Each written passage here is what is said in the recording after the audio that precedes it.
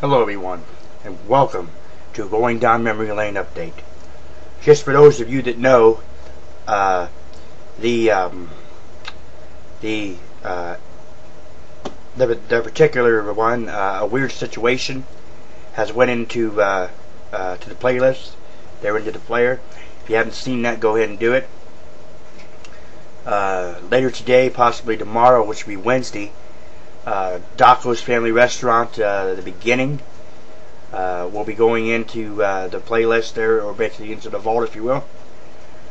Uh, up now is uh, going down memory lane video, or going down memory lane is um, May 25th, 1986. Find out exactly how, what significance, what special day that is for me, and also, uh, go down memory lane with me as I tell you about the most intelligent man I've ever met in my entire life. From that course of, uh, I'd say from uh, 1982 all the way up to here in 2007.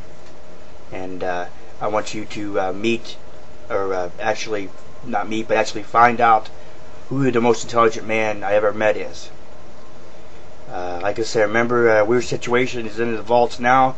If you haven't looked at it, take a look at that and every one of the one memory lanes I've done so far. Take a look at uh, Daco's beginning, which is uh, going to go into the playlist. They're into the vault, if you will, uh, as of uh, uh, either later today or uh, Wednesday. And uh, like I said, May 25th, 1986. Uh, find out that special date that's very significant, very special to me. Find out exactly what that means. Take a look at that and uh, take a look at the most intelligent man I've ever met in my entire life.